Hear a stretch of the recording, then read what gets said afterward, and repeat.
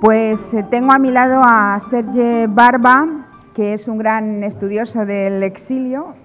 Es presidente de la Asociación e Hijos e Hijas de Republicanos Españoles e Hijos del Exilio. Pero bueno, debo confesar que está aquí sobre todo porque nació en la maternidad de Elna. Y creo que es uno de los protagonistas que mejor ha reconstruido la historia de, esa infancia en, en, el exilio. Es autor de un, magnífico, de un magnífico libro desde el borde hasta el alambre de púas, Los caminos de la retirada, en 1939, publicado en 2009, eh, donde reconstruye las rutas seguidas por los refugiados desde el paso de la frontera hasta, llegada, hasta la llegada a los campos de, concentración. Y recoge algo importante en el marco de este congreso, me parece a mí, que son los pequeños aspectos de la vida cotidiana, tanto en el camino hacia la frontera como en los propios campos del Midi francés. Em, además de documentos, de mapas, de informes oficiales, de fotos de época, de artículos periodísticos, de testimonios, de dibujos, de diversas obras de arte dejadas por los actores del, Éxodo. Y, por supuesto, recoge el testimonio sobre la maternidad de Elna, que él conoce mejor que nadie, y también ha organizado un maravilloso proyecto, ¿eh? que son las rutas del exilio. En fin, yo creo que, os dejo con él, que os lo explicará muchísimo mejor que yo. Muchas gracias, Sergio, por esta.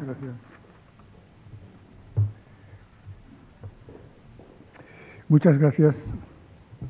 Eh, gracias a, la organización del Congreso, gracias a Ángeles, gracias a Rose, entrañable Rose.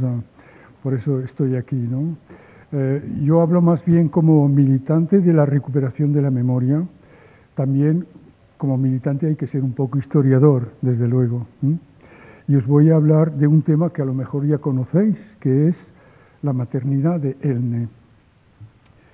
Pues eh, aquí tenemos en la foto eh, lo, que ha venido, lo, que ha venido, a ser la foto emblemática de la maternidad de Elne. Elizabeth, no, me habla, no me oís. Ah, perdón. Perdón. Pues, ¿ahora? No, sí, ya está. Lo que es eh, la foto emblemática de la maternidad de Elne está aquí Elizabeth con la niña Esperanza.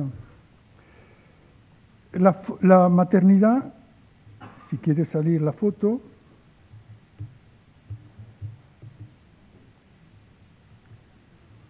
socorro, eso, ya está. Si, si quiere salir la foto, y aquí está, es lo que es la maternidad hoy, tal como la podéis ver si vais a Elne a visitar eh, eh, la casa, el monumento.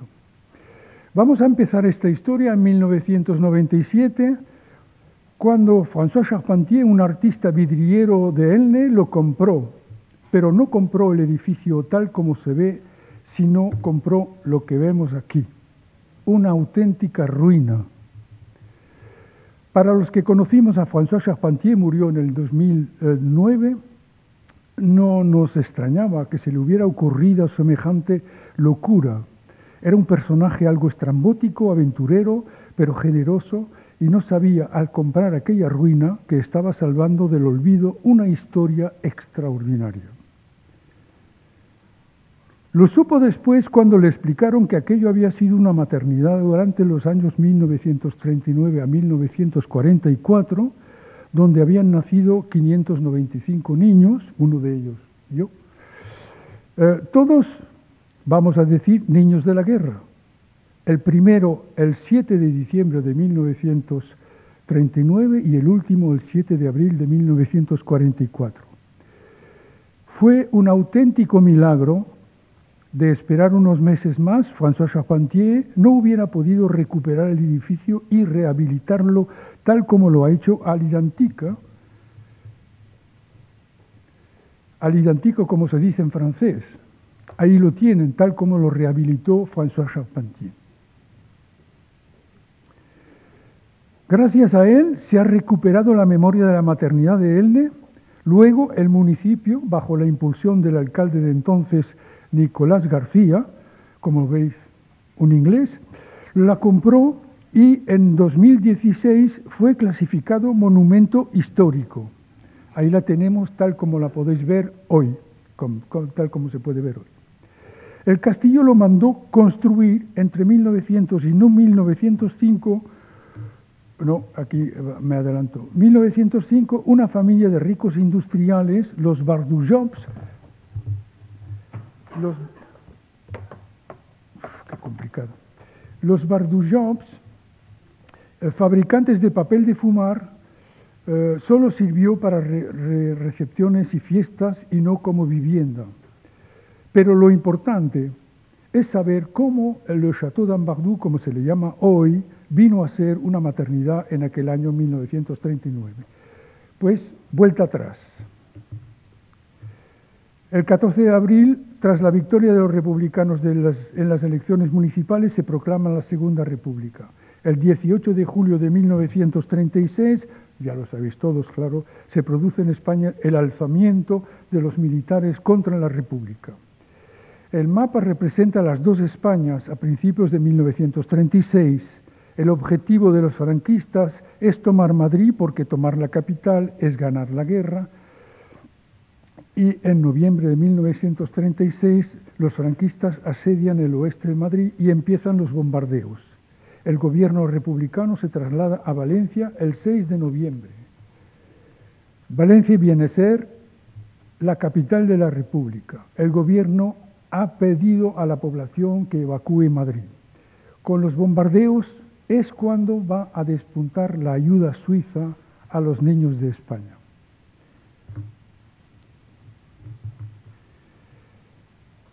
Todo empieza con el Servicio Civil Internacional, asociación suiza, eh, asociación de carácter pacífico y eh, cristiano que tenía el propósito de trabajar a la reconstrucción de ciudades y infraestructuras destinadas por las, eh, destruidas por las guerras y catástrofes naturales. La guerra de España va a modificar esta orientación y bajo el impulso de su secretario general Rodolfo Olgiati, decide intervenir durante el conflicto. Se forma una entidad que reúne unas 15, eh, unas 15 asociaciones y toma el nombre de Comité de Ayuda a los Niños Suiza a los Niños de España inscripción que, llevará, que llevarán todos los vehículos.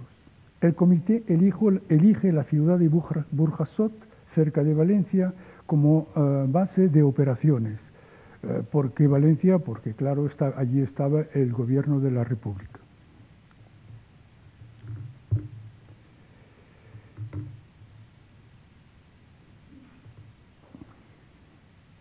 Ahí tenemos una placa conmemorativa de eh, lo que, hicieron, lo que hizo la ayuda suiza en, en, Burjasot. Los primeros camiones llegan a Burjasot el 30 de abril de 1937. Elizabeth, ella llega un poco más tarde, hija de pastor, maestra de escuela, va a Burjasot a petición del servicio civil con la propuesta de dar una mano a la ayuda suiza solo para el periodo de sus cortas vacaciones. De ahí no volverá nunca más a Suiza como maestra. ¿En qué consistía la labor de la ayuda suiza? En llevar hacia Madrid bombardeada comestibles, ropa, material sanitario y sobre todo organizar el traslado de niños hacia Valencia para ponerlos a salvo de las bombas. El vaivén entre Valencia y Madrid va a durar hasta marzo de 1938. Aquí tenemos fotos de la evacuación de Madrid y con los camiones que se llevan a los niños hacia Burjasot.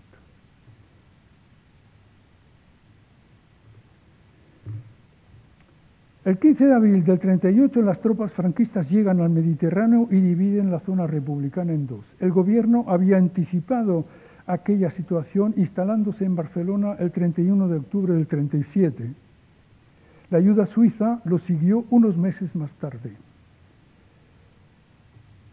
En el, mapa del, mm, siguiente es el mapa del febrero 39, es decir, la retirada. El 26 de enero del 39 los franquistas ocupan Barcelona. La retirada ha empezado. Miles de personas van camino de Francia. Aquí tenemos el mapa de la región con la frontera y los diferentes pasos por los que pasaron los, republicanos. La ayuda suiza no tiene más remedio que, que juntarse al éxodo. El lunes 30 de marzo del 39, a las 10.30 de la mañana, de la noche, la ayuda llega a Perpiñán, al Hospital Saint-Louis, con 82 niños. Aquí tenemos fotos de la frontera donde se acumulan, claro, todos, todos los, refugiados. Y ahí tenemos pues la ayuda suiza que va camino de Francia con este, este famoso convoy con 82 niños. Pues el lunes 30 de enero. Pero también se evacúan a muchos, se evacúan a muchos niños de las colonias que se habían creado en Cataluña desde el 37 bajo la tutela del Comisariat de Asistencia a los De, Guerra. La ayuda suiza apadrinaba a muchos de aquellos niños y cuando pasaron a Francia fue en busca de todos ellos. Así se creó la colonia du Château du Lac de Sijan, dirigida por Ruth von Wild, que veis en la, foto. Eh, y la, la, colonia duró de junio del 40 del julio del, 39 hasta mayo del 40 y acudía, acogía a niños entre, 15, entre, 4, entre 4 y 14 años. Sillán está a unos 65 kilómetros de Elne. Debemos la historia de la colonia de, de la colonia de Sillán a María Ojuel, historiadora de Barcelona. En unos 15 días, en unos 15 días eh, del 28 de enero al 13 de febrero, unas 500.000 personas, os había dicho 460.000, pero bueno, redondeamos. Eh, 500.000 personas van a sumergir los Pirineos orientales que solo contaban con 230.000 habitantes en aquel momento. El 28 la frontera se abre a las mujeres, los niños, los ancianos, los enfermos y heridos, pero no a los hombres válidos. ¿Cómo los acogieron? En parte, como lo dice Karma Casas, una alumna del instituto de instituto de 16 años, en su testimonio. Dice, esperaba encontrar una tierra acogedora, un lugar donde poder pararme a descansar sin peligro fuera del alcance de los fascistas, un lugar amable que compensara la separación de mis padres, que en aquel momento no sabían ni dónde estaban ni si los volvería, ni si los volvería a ver. Francia era un lugar ideal, como un paraíso donde podríamos comer y encontrar ropa para abrigarnos y camas calientes donde dormir sin alarmas aéreas ni sirenas. Pero al llegar a la estación de Cervera, me encontré con cantidad de gente amontonada, con bultos y maletas, con mujeres que lloraban, ancianos que lloraban, niños y hombres que también lloraban, y aquellos montones de armas que cogían a los soldados, las separaciones de las familias, los hombres de un lado, las mujeres y los niños de otro, y todas aquellas escenas de desprecio, los maltratos de los gendarmes y del ejército francés. Y yo allí estaba con tener que espabilarme a andar a culatazos entre los gritos de ale, ale, que era lo único que sabían decir. No todos, claro, fueron recibidos a culatazos. Por regla general, a las mujeres, los niños, los ancianos, después de vacunarlos y darles de comer, los evacuaron a los departamentos del centro de Francia. Es lo que dice la foto aquí, ¿verdad?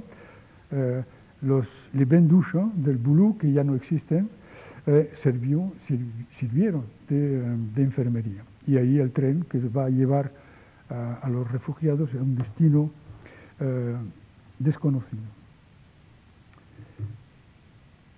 Los hombres, a los hombres se le da paso el 5 de febrero y se les conduce a pie a los campos de concentración, a Jolet-sur-Mer, Saint-Cyprien, Le Barcarès, ya lo sabéis, los campos eran hectáreas de arena sin cobijo, sin agua potable, sin comida, sin aseo, latrinas, eh, sin solo alambradas para cerrar el espacio.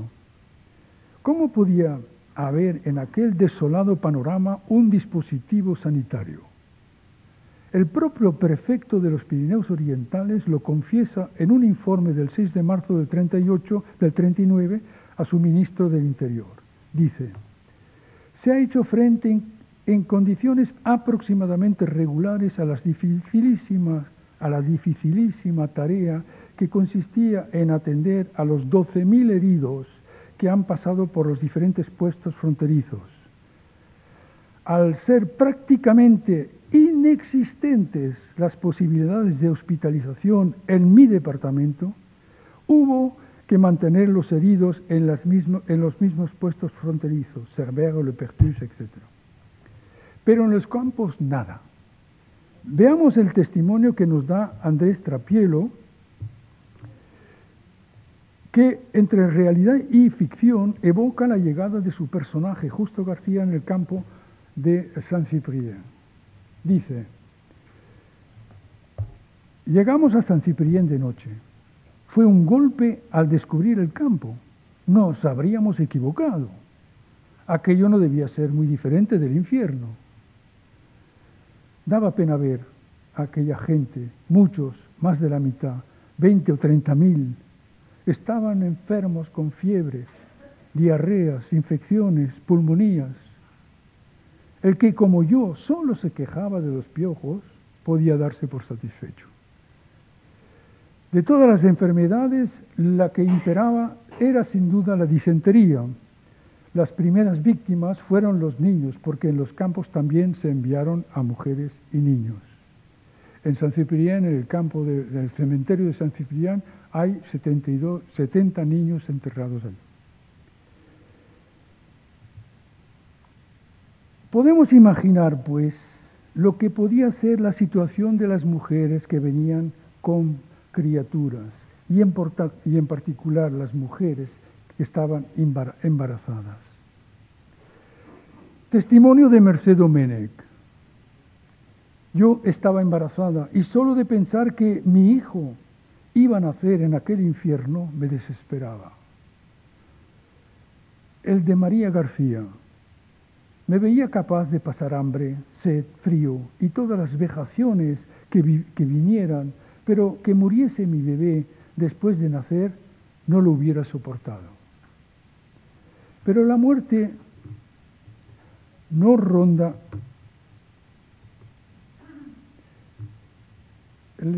la muerte no ronda únicamente en los campos, sino por todas partes.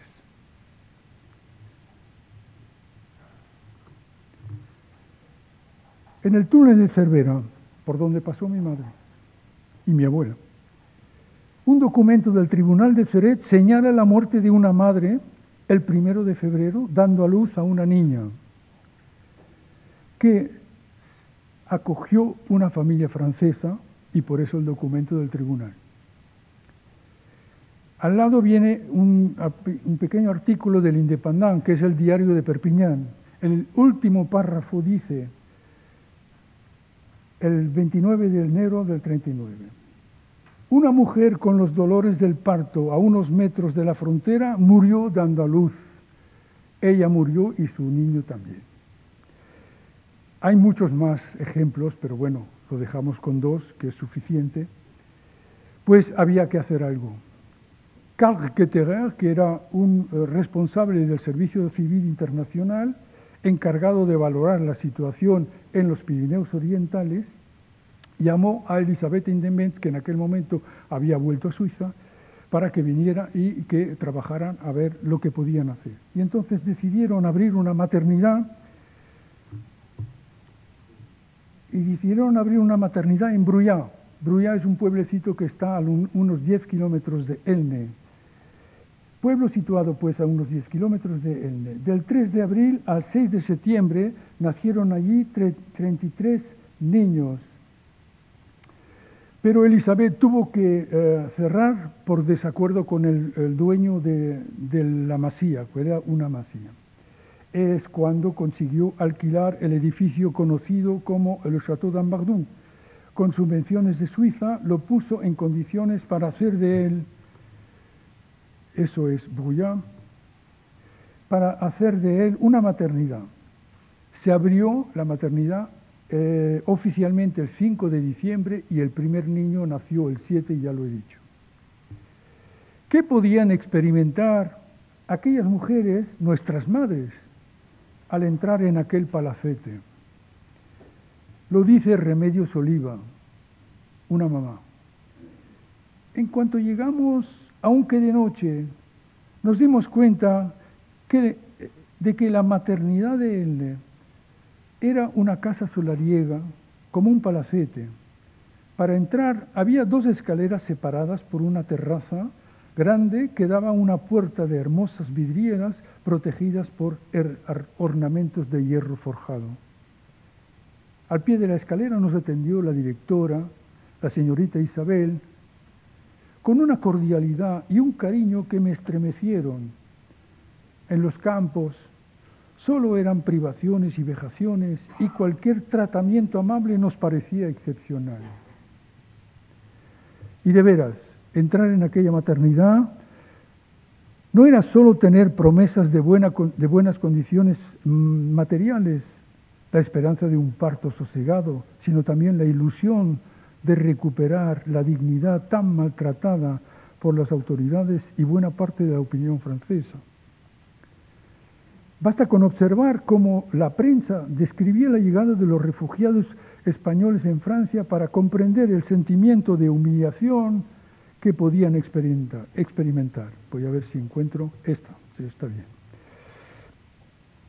Un periodista del Independent del 7 de febrero del 39 escribe lo siguiente. Es la imagen de la miseria de todo un pueblo, el desconcierto, la derrota, el hambre, la sed, en fin, todo el sufrimiento físico y moral de que pueden padecer los hombres. Entre esa multitud están los niños en número imponente, la mayoría de ellos sucios, andrajosos, lamentables.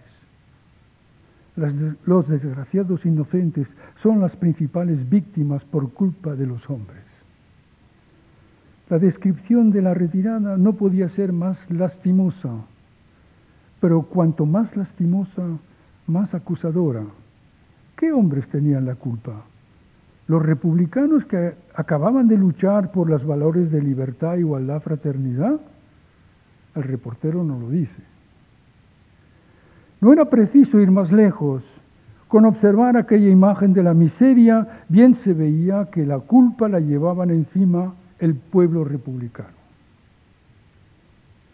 No era preciso, eh, era la maternidad con Elizabeth, en, perdón, en la maternidad con Elizabeth mes nada de compromiso, nada, nada de compasión, de acusación, solo respeto para todos, sea quien sea, madre española, polaca, francesa, gitana, judía, etc. Venían de todas partes, todas podían sentirse libres, protegidas por la maternidad, tierra inviolable que Elizabeth defendía diciendo que aquello era Suiza.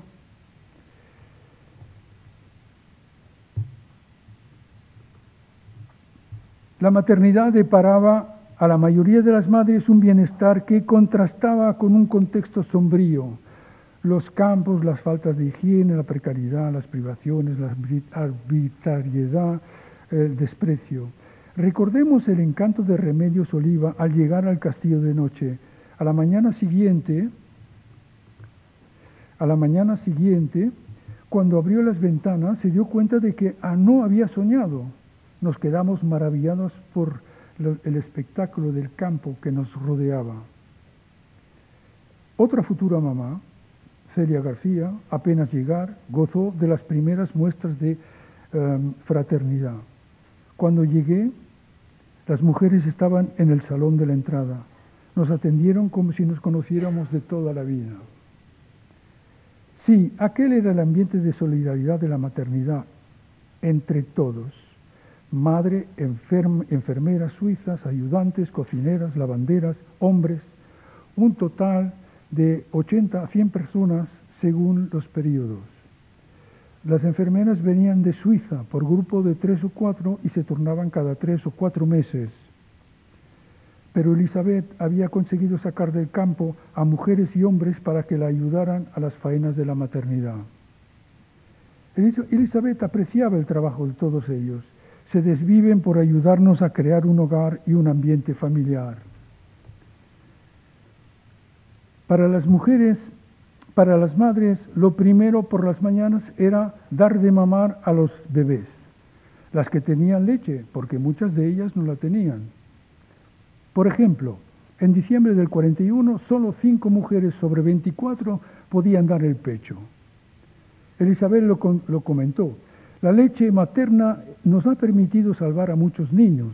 Fueron muchas las jóvenes más españolas que dieron el pecho a los hijos de las madres que llegaban agotadas. Pero a los bebés como yo, que no tuvieron pecho para mamar, nos dieron la leche en polvo Guigos que venía de Suiza. Bueno, tampoco nos ha ido tan mal. ¿eh?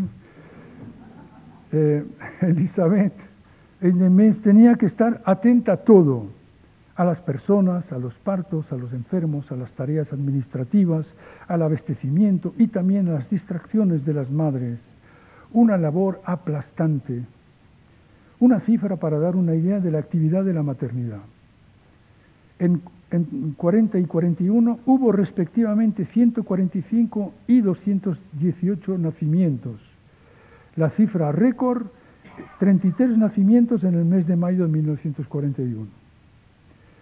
Otra tarea era la de ir a los campos, a ver si encuentro la foto, eso. Otra tarea era la de ir a los campos para localizar a las mujeres embarazadas y prepararlas a ingresar en la maternidad es por lo que pidió que le dieran un barracón prenatal primero y postnatal luego. Aquí lo tenemos, ese barracón. También venían otras mujeres que necesitaban reponerse un poco, ¿no? Del campo. Por regla general, las mujeres ingresaban a los ocho meses de embarazo y salían al mes del parto. Entre esas dos fechas había cantidad de casos particulares. Elizabeth no atendía solo a las mujeres embarazadas, sino también a niños y mujeres desnutridas. Por ejemplo, en 42 le vinieron de Rivesaltes mujeres en estado de caquexia que pesaban de 40 a 50 kilos apenas. La maternidad, decía Elizabeth, venía a ser para todas las pobres refugiadas un oasis de paz y de bienestar durante los seis las seis u ocho semanas en las que permanecían hospedadas. Unas cuantas fotos más. Aquí el, niño que está más a la izquierda de todos soy yo. Pero no es mi mamá, es, una lavandera que, me, que me, que me cogió.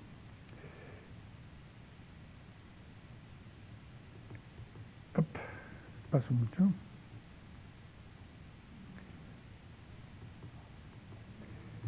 En 2002 se le rindió homenaje en Elne. Recibió la medalla de los justos en presencia de niños, mamás de la maternidad y bastantes oficiales. En aquella ocasión no se desvió de su forma de ser, discreta, humilde, callada, como si la solemnidad del acto no fuera para ella. Su cara parecía decir, ¿a qué viene tanto homenaje? He hecho lo que tenía que hacer. Pero su cara también expresaba la ilusión que le daba estar con los niños y madres de la maternidad y volver a encontrarse en el lugar donde cumplió la labor más importante de su vida. Eso es lo que dice ella, o que decía ella, porque murió en el 2011. Y yo puedo terminar con una frase, pero después de lo que ha dicho eh, eh, Rosa, Rosa, no sé si, si conviene, porque yo digo que al entrar en la maternidad, las mujeres no, se pintaban en aquel momento, ¿eh? los que se pintaban eran más tarde, ¿no?